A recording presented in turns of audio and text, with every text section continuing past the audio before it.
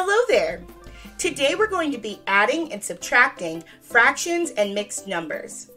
In the two examples we're going to see, we have unlike denominators. Remember, to add or subtract fractions or mixed numbers, we must have common denominators. Let's look at the first example. In this example, we have a denominator of 6 and a denominator of 5. So what we want to do is find what's called the lowest common denominator, or the lowest common multiple of 5 and 6. Let's list the first few multiples of both 5 and 6.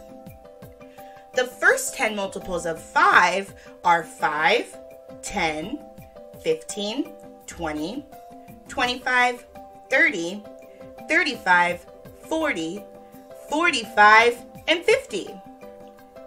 The first 10 multiples of 6 are 6, 12, 18, 24, 30, 36, 42, 48, 54, and 60.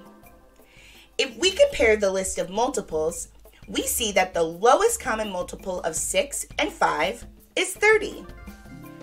We now need to create fractions with denominators of 30. In our first fraction, 5 sixths, we would need to multiply 6 by 5. Whatever we do to the denominator, we also have to do to the numerator. So we need to multiply the numerator of 5 by 5 as well. Since 5 times 5 is 25, the equivalent fraction for 5 sixths is 25 thirtieths. Let's do the same thing with the other fraction, 2 fifths. To create a fraction with a denominator of 30, we would have to multiply 5 by 6. Whatever we do to the denominator, we need to do to the numerator. So 2 times 6 is 12, making the equivalent fraction 12 thirtieths. Now that our two fractions have the same denominators, we can go ahead and subtract. So we're going to leave the denominator as 30 and just subtract our numerators. 25 minus 12. Well, that equals 13. So our difference is 13 thirtieths. In the next example, we'll be adding mixed numbers. Our mixed numbers have unlike denominators. To make them easier to add, we can rewrite our mixed numbers as improper fractions. Do you remember how to do this? To change a mixed number to an improper fraction, we multiply the denominator by the whole number and then add the numerator. So for the first mixed number, 1 and 1 third, we're going to multiply the denominator 3 by the whole number 1, and that gives us 3. We then add the numerator 1 to 3, which gives us the improper fraction for 1 and 1 third, 4 thirds. Let's look at the other mixed number, 2 and 3 fifths. We multiply the denominator of 5 by the whole number 2, which gives us 10. We add the numerator 3 to make 13. So our mixed number for 2 and 3 fifths is 13 fifths as an improper fraction.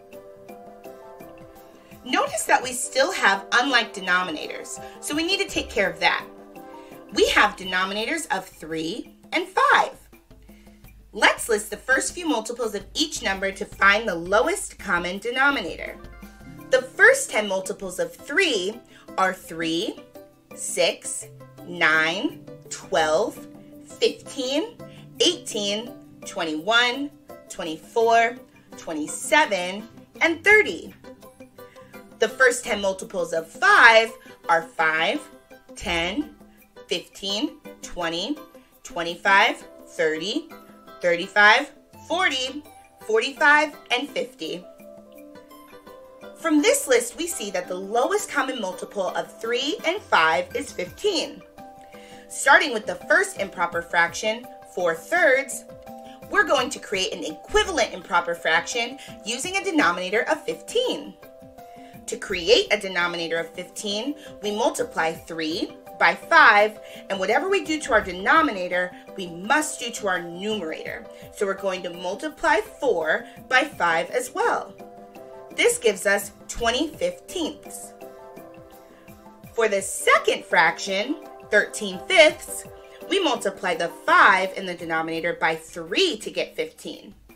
Whatever we do to the denominator, we also do to the numerator. So we multiply 13 by 3, and that gives us 39. So our equivalent improper fraction becomes 39 fifteenths. Now, both of our improper fractions have like denominators. So we're going to leave the denominator as 15 and add our numerators, 39 plus 20.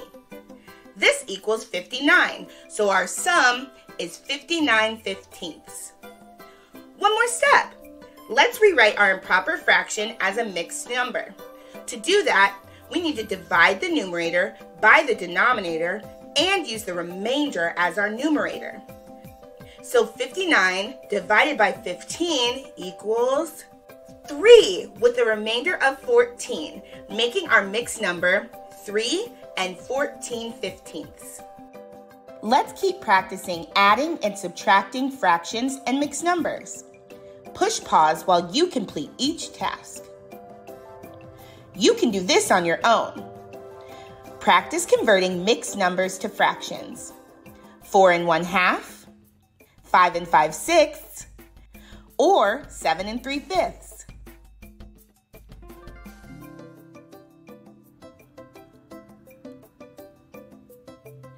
You can do this with a partner. Together, solve 5 and 1 third plus 6 and 2 fifths. 8 and 3 fourths plus 7 and 5 ninths. And try 6 and 1 third minus 3 and 4 fifths.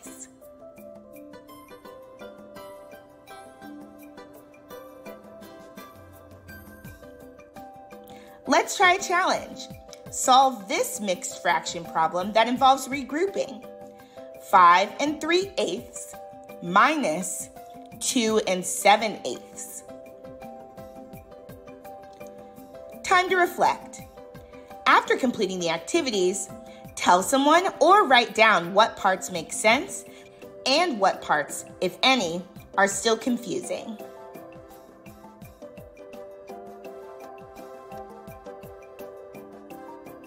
You did a great job today. It's always good to see you. Bye.